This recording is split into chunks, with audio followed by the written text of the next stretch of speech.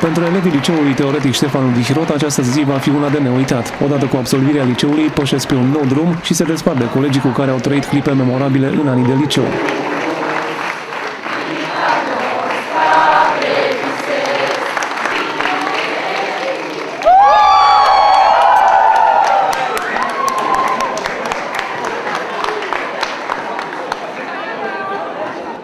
Da, au fost niște zile frumoase alături de colegii mei. Mi-a părut bine să uh, fiu aici alături și de dumneavoastră și vă mulțumesc în primul rând pentru tot uh, sprijinul. O amintire Uh, cu domn profesor de istorie era o amintire. Uh, ne se părea nouă fetele din grupul nostru vesel că are două cornițe.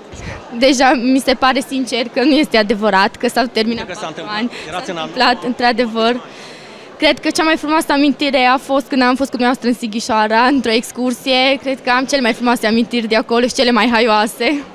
Au trecut cam repede, dar trebuie să recunoaștem că au trecut. Uh, O amintire haioasă pe care pot să zic că mi-o amintesc acum ar fi rătăcirea prin liceu din prima zi de școală. Cred că în acești patru ani am învățat cum să fiu, de acum cred că o să învăț cum să exist.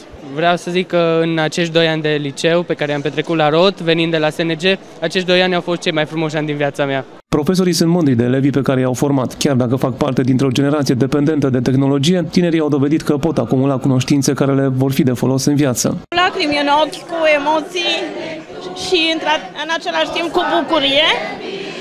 Uh, Sunt foarte bucuroasă că iarăși uh, promovează și absolvă o serie nouă, Generația centenarului este. generația centenarului, copii minunați ca întotdeauna și avem încredere în noi și le dorim succes.